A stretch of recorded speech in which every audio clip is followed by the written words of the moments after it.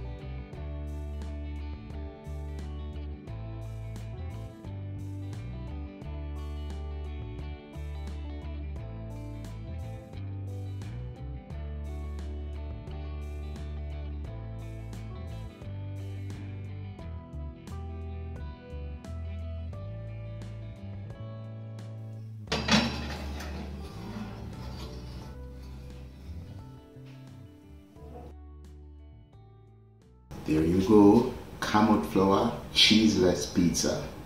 Thanks for watching in the Kitchen.